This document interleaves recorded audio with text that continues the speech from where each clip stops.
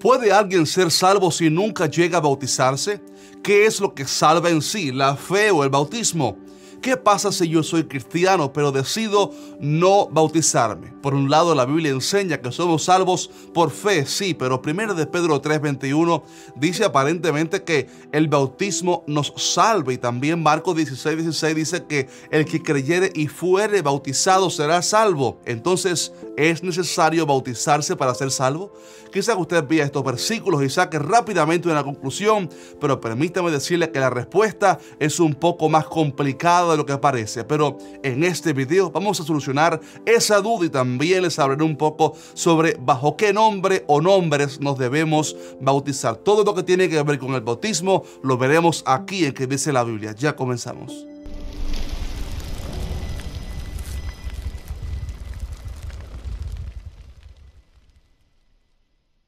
Existen cientos de preguntas difíciles que las personas tienen acerca de la Biblia, así como esta que estamos analizando hoy. Y seguramente todavía usted tiene muchísimas preguntas acerca de Dios y su palabra, pero para eso existe este canal llamado ¿Qué dice la Biblia? Para colaborar en esa misión de responder a la mayoría de sus dudas y preguntas más difíciles. Por esto, si aún no lo has hecho, te quiero animar a que te suscribas a nuestro canal ahora mismo y algo muy importante, que active la campana de notificaciones para que no te pierdas ninguno de nuestros videos que lanzamos cada miércoles a las 5 de la tarde hora de Miami. Te aseguro que cada video que lanzamos aquí te va a bendecir grandemente Ah, y para los que nos siguen cada semana, que son parte de la familia que dice la Biblia, déjenme saber qué les parece nuestro nuevo set de grabación que estamos estrenando hoy. Bien, entrando ya en este tema tan interesante del bautismo, permítame responder a la duda principal, darle cinco datos muy importantes acerca de el bautismo, datos que usted necesita saber para entonces decidirnos si es necesaria esta práctica para ser salvos o no. Primeramente es necesario saber que el bautismo es un mandato dado por Cristo Jesús directamente. Antes de ir al cielo, Él ordenó así, por tanto, id y haced discípulos a todas las naciones, bautizándolos en el nombre del Padre, del Hijo y del Espíritu Santo. Es por eso que el bautismo es una ordenanza que todo cristiano debe cumplir y no hacerlo digamos que por voluntad propia y rechazar hacerlo es desobedecer directamente una ordenanza dada por Cristo mismo. En segundo lugar, el bautismo no es un acto de graduación en la vida cristiana, sino más bien es un sacramento que debe ocurrir en los inicios de la vida cristiana. En sectas y religiones del ocultismo eh, encontramos algunos ritos satánicos que le aplican a los que quieren comenzar en dicha religión. Por ejemplo, cosas raras como las calaveras, sangre de animales y mucho más. Pero en el Evangelio no existe ningún rito para ser salvo, solo es arrepentirse de los pecados y creer en Cristo Jesús. Y entonces como muestra al mundo de que ahora somos cristianos, nos bautizamos. Digamos que es un acto de identificarnos públicamente con nuestro Salvador. En tercer lugar, el bautismo se debe hacer con la fórmula correcta. ¿Cuál es? En el nombre del Padre, del Hijo y del Espíritu Santo. El único pasaje que establece una doctrina o fórmula sobre cómo debe ser el bautismo lo dio Cristo Jesús en el pasaje que ya citamos anteriormente, donde dice, portando id y hacer discípulos a todas las naciones, bautizándolos como en el nombre del Padre, del Hijo y del Espíritu Santo.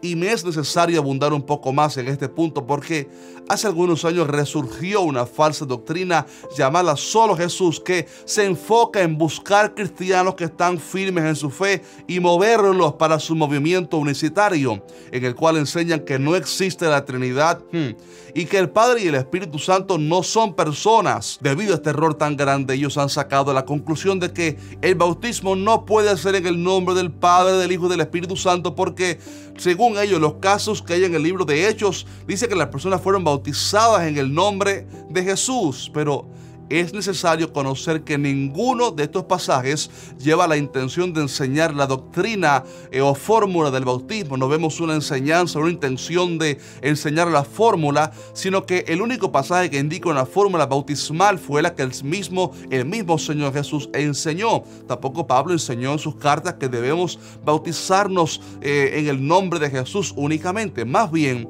Cuando en Hechos se habla de bautismos en el nombre de Jesús, no está indicando que el nombre de Jesús fue el único nombre usado en la fórmula, sino que está estableciendo que las personas se bautizaron en el bautismo enseñado por Jesús, en su nombre, en su mandato, en su, en su enseñanza, ya que digamos que en aquel tiempo había otros bautismos muy conocidos como el de Juan, el de los fariseos o incluso el de una falsa doctrina que enseñaba a bautizarse por los muertos para diferenciar que las personas estaban bautizando en el Evangelio de Cristo Jesús. Hechos dice que se bautizaron en el nombre de Jesús, o sea, según su mandato, pero de ninguna manera está estableciendo una fórmula bautismal. Así que no se deje mover y engañar por la falsa doctrina solo Jesús, porque la manera correcta es bautizarse en el nombre del Padre del Hijo y del Espíritu Santo, así como Jesús enseñó. En cuarto lugar, el bautismo debe hacerse conscientemente, porque es un acto donde la persona públicamente renuncia a su vida pasada.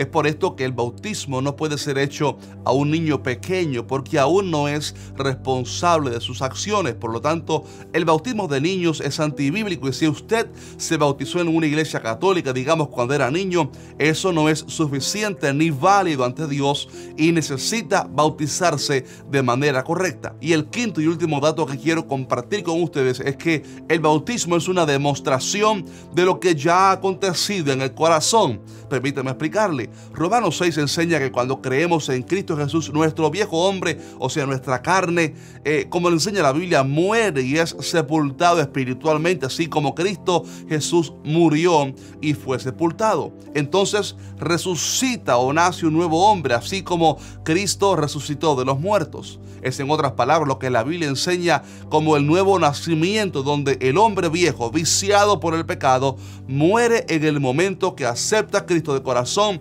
y nace una nueva criatura.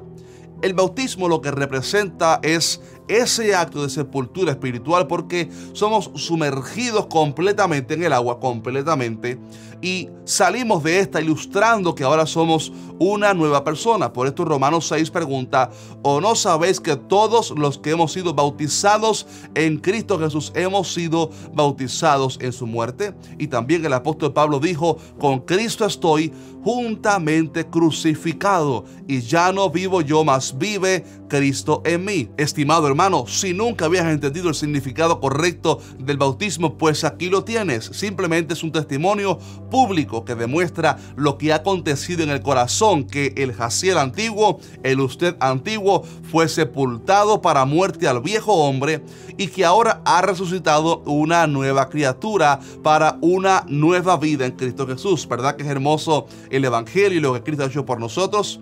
A propósito, me gustaría mucho escuchar tu historia, si te recuerdas de el día que te bautizaste, cómo te sentiste, qué fecha fue, déjame saber abajo en los comentarios, les voy a estar leyendo. Ahora bien, aquí viene la pregunta de oro. ¿Será necesario entonces el bautismo para ser salvo? ¿Qué es lo que salva? ¿La fe o el bautismo?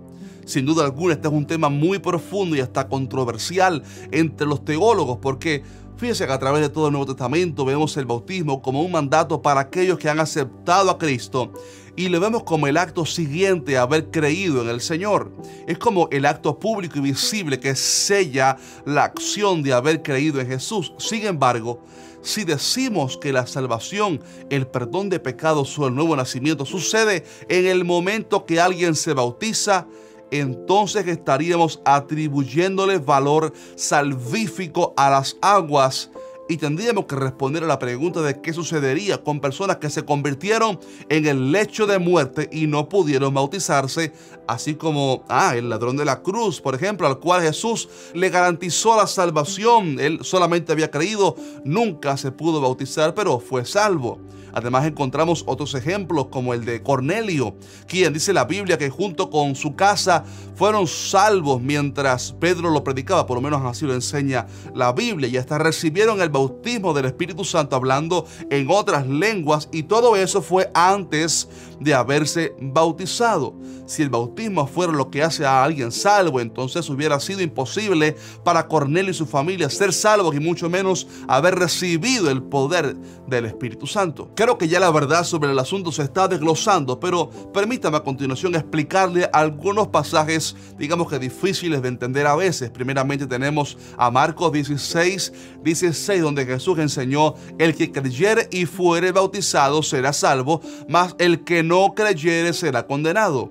Al leer este versículo pudiéramos deducir que el bautismo forma parte de la salvación, pero note cómo habla del bautismo como siguiente al haber creído y algo necesario para el que ha creído. Eh, la evidencia que hemos visto de personas que fueron salvas y no se bautizaron nos habla de que el bautismo está puesto aquí como algo siguiente al haber sido salvo. Incluso cuando habla de alguien que no alcanza de la salvación y es condenado en este versículo, no pone la falta del bautismo como una razón. El pasaje no dice el que no creyere y no se bautizare no será salvo, sino que solo pone la incredulidad como la razón por la cual alguien se puede perder eternamente. Y esto nos da la evidencia de que el sentido del pasaje es que la salvación viene por el creer, aunque el bautismo está incluido como algo consecuente, pero la salvación no ocurre en el bautismo, sino en el momento que la persona cree en Cristo Jesús. Otro pasaje difícil de entender que mencioné en el principio del video es 1 de Pedro 3:21 que dice que el bautismo que corresponde a esto ahora nos salva, no quitando las inmundicias de la carne, sino como la aspiración de una buena conciencia hacia Dios por la resurrección de Jesucristo. Aquí Pedro usa una analogía del diluvio para ilustrar que así como las aguas sepultaron el pecado, los pecadores, y a la vez el agua hizo flotar el arca a través de la cual fueron salvas ocho personas, así también el bautismo es un acto que ilustra el morir al viejo hombre y resucitar a una nueva vida en Cristo Jesús. Sin embargo, Pedro no creo que le esté atribuyendo poder salvífico al agua, sino que más bien se enfoca en la fe de la persona, porque habla de la aspiración de una buena conciencia hacia Dios por la resurrección de Jesucristo. Note cómo él habla del bautismo como un acto de fe para aspirar a una buena conciencia hacia Dios. Creo que el sentido del pasaje está en que la salvación es a través de la fe, eh, esa fe a través de la cual entonces nos bautizamos. La verdad del asunto es que el que salva es Cristo Jesús y es la fe el medio para acceder al Salvador. En el momento que alguien cree con sinceridad, esa persona ha nacido de nuevo y por eso debe entonces bautizarse para confirmar su decisión de seguir a Cristo porque la fe sin obras es muerta. ¿Se acuerda usted de ese versículo? No puedo terminar este video sin dar la advertencia de que decidir no bautizarse por rebeldía, teniendo la posibilidad, es un acto de desobediencia a Dios. Mucho cuidado. No bautizarse por desobediencia es un gran pecado que demuestra que usted no está comprometido con Cristo, lo cual me hace dudar muchísimo que usted sea verdaderamente cristiano y que haya nacido de nuevo, porque cuando alguien conoce verdaderamente a Cristo, está dispuesto a darlo todo por Él, porque Él mismo enseñó diciendo, si alguno quiere venir en pos de mí, niéguese a sí mismo y tome su cruz y sígame. Y el bautismo se trata de eso, a uno mismo, a la vida pasada y entregarse a Cristo completamente. Así que mi consejo es que si usted aún no se ha bautizado, quizás por desconocimiento o por falta de planificación, por favor abre hoy mismo con su pastor local y programe un día para que sea bautizado y le aseguro que sentirá un gran gozo en su alma porque la voluntad de Dios es agradable y perfecta.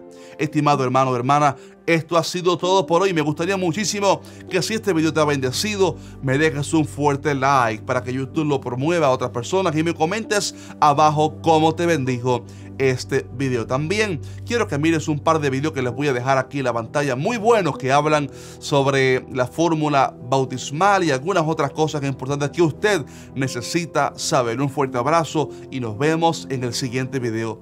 Dios mediante.